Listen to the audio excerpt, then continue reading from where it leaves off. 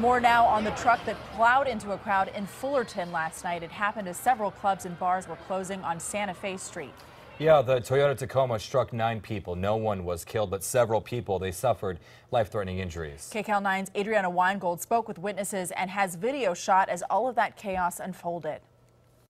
Well, you can imagine just how crowded this area would be on a Saturday night. It was about 1:45 in the morning. Last call at the many bars along this strip when hundreds of people were out here, some of them waiting for Ubers when an out-of-control truck plowed right into them. Cell phone video captured the chaos just moments after a red pickup truck plowed through a crowd of people.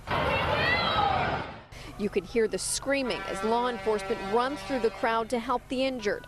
Dustin Broy watched as a red pickup truck flew down Santa Fe Avenue and careened right into a group of people. They just crashed. There's a lot of people right here, and you know, I'm sure they were drunk, so the way they were driving, and you know, they just they hit the pole right there, so they just, you know, had no regard for anyone's safety. Roy says the truck was out of control as it raced down Santa Fe Avenue, hitting several cars before jumping a curb and running over people. It came to rest after crashing into a tree, pinning several people underneath the truck.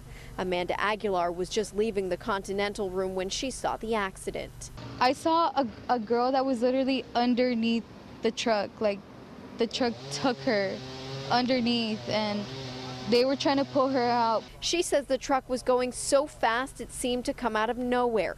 Aguilar ran to help, but says police were already there. She stopped to take a woman's pulse, then stepped aside for paramedics. I just like wanted to stay in the car, but I felt like I had to get out and do something to to help because I knew there was a lot of people that got hurt, and everybody was like running around, like going crazy. Nine people ranging in age from 18 to 49 were taken to the hospital. We are still waiting for an update on their condition, but we will bring you the very latest as it becomes available.